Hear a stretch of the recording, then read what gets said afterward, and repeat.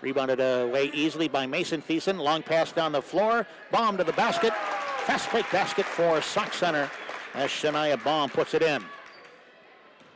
30 to 11, Sauk Centre. Pass in for Melrose. On the far side, Justine Reverman has it. Puts it on the floor, drives down, back out. In the lane to Emily Gert. No shot. Back to Sawyer. She's open for a three. Good. Gabby Sawyer hits a three point basket for Melrose. The ball is on the floor. Gamrot got it back.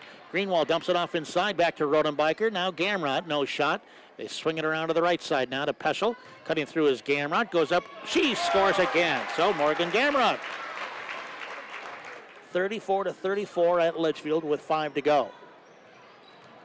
Melrose unbeaten at 4 0. Here's a reverse layup up and good for Gabby Sawyer. That was a sweet move.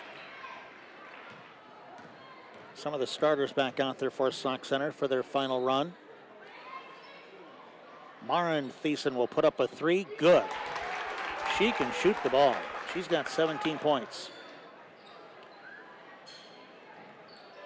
Here's a pass down low to Gieske, making her way closer to the basket, puts it up and in. A basket for Jen Gieske. Good post-up move that time. All On the pass, Gamrot with a steal for Sauk Centre. And she'll wait for help. Lewis to Borgerding. She eyes up the three and takes it and makes it. Taylor Borgerding knocks down a three-pointer. Sauk Centre with a big lead, 71 to 34.